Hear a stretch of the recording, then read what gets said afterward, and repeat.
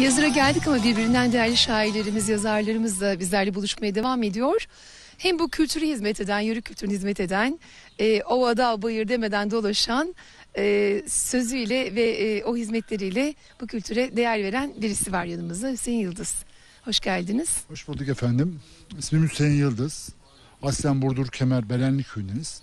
Ee, ancak 1986 yılından beri Burdur Yakalar Köyü'nde annemin köyünde ikamet ediyoruz. Bir kamu kurumunda çalışıyorum özel işçi olarak. Ee, şiir benim için bir sevdadır. Çocukluğumda başlayan bu şiir gönül damlası büyüyerek bir çağlayana bir pınara dönüştü. Biz de bundan esinlenerek Gönül Pınarı mı adına bir kitap çıkardık. Gönül Pınar'ım e, buradaki resim benim köyümü anlatan. Bunun canlı hali köyümde şu anda. Burayı çok sevdiyordum. Çocukluk anılarımın, hatıralarımın, her şeyimin o yaşandığı bir yerdi. Halkımızın dilinde meçhul şair mahrasıyla halkın beni tanıdığı Şaban Genç amcamın yapmış olduğu bir ilke imza attığı diyelim. İlk diyelim çünkü bayağı alanı güzel oldu. İlk katılım sağladık. Ona destek olmaya çalıştık. Değerli abilerimin katkılarıyla, sponsorların sayesinde bir kitap çıkardım. İnşallah devamı gelecek. Köylü nedir bilir misin? Vay sen küllü suda çinme gittin mi? Leğene girip de hemen yündün mü? Tintin sobaya da köyür attın mı? Köyünde yaşamak nasıl güzel gördün mü? Dere kenarlarında gazan kurdun mu?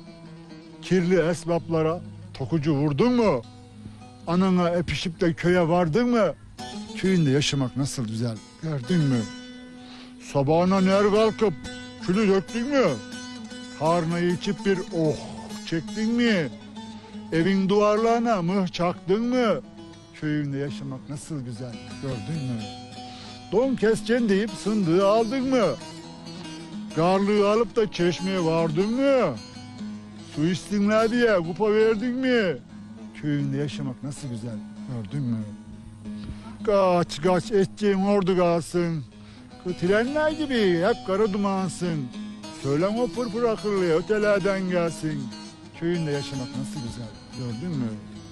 Kocu babam dedi hemen buraya gel. Kocanandan ekmeği kapla gel. Höşmerim pişirmiş sen aşama kal. Köyünde yaşamak nasıl güzel gördün mü?